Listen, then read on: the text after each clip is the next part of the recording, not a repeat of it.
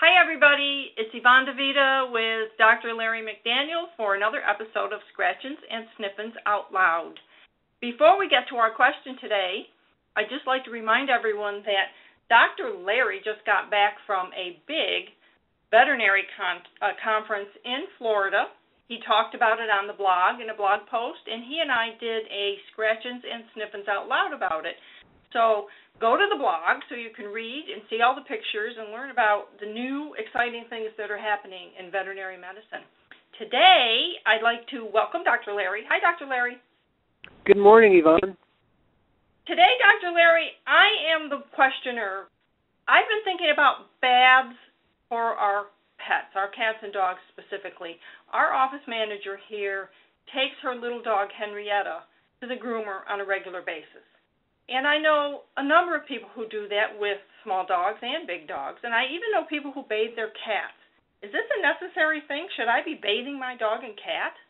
Well, bathing is one thing, um, you know, and sometimes it's necessary. But I think the bigger, the larger question is really about grooming and what you can do, you know, with a brush in particular um, can help delay or you know forestall the need for bathing that much. Mm. You know, brushing brushing is really important for especially for dogs. You know, cats do a pretty good job of of um, grooming themselves. Right. We occasionally would brush Patty Paws, our old cat, but we brush Darcy probably three or four times a week. And one of the reasons is that you know she sheds, and if we don't brush her, we end up swiffering up that hair off the floor. And grooming is a, or brushing is important too because it you know, it can spread out the natural oils that are in a cat's or in a dog's skin and spread them out throughout their hair. It helps reduce odor actually. Um, it gets rid of all the dead hair and some of the dead skin. It keeps them from getting mats, which can be a real pain in a long-haired dog. Yeah. So I think brushing is probably much more important um, than bathing in, in terms of grooming. Excellent.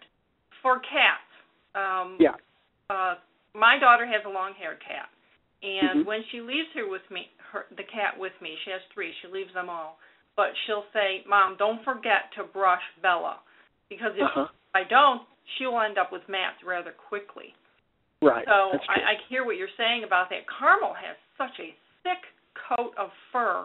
We could brush her every day, and she would still be uh, dropping little pieces of of hairballs around, which is what she does. I'm not complaining. So, in the summer, is uh, is it a? I mean, I'm thinking I wouldn't do this in the winter if I were doing it myself. Other than grooming, as you're saying, I can understand that. But in the summer, is it a good thing? Maybe once in the summer to take them in the backyard and bathe them.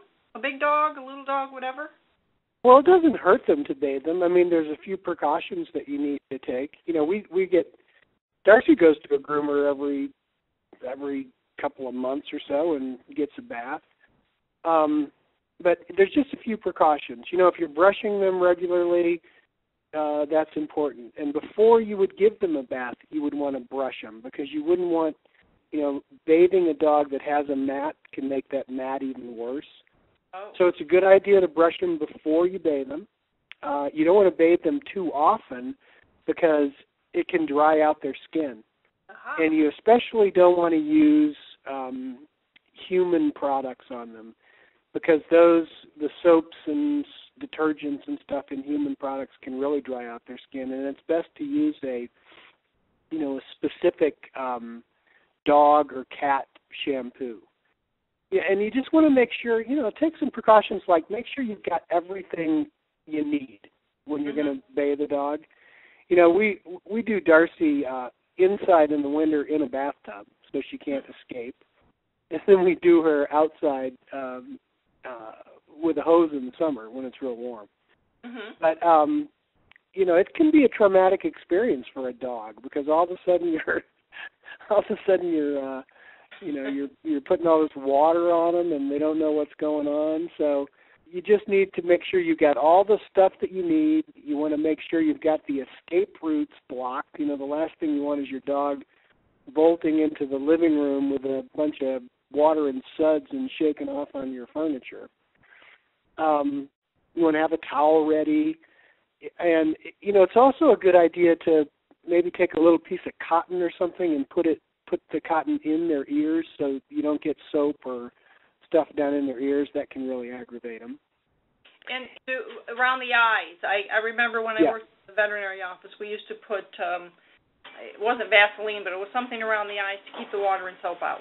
Right. We we always used to put just a little ophthalmic ointment in their eyes.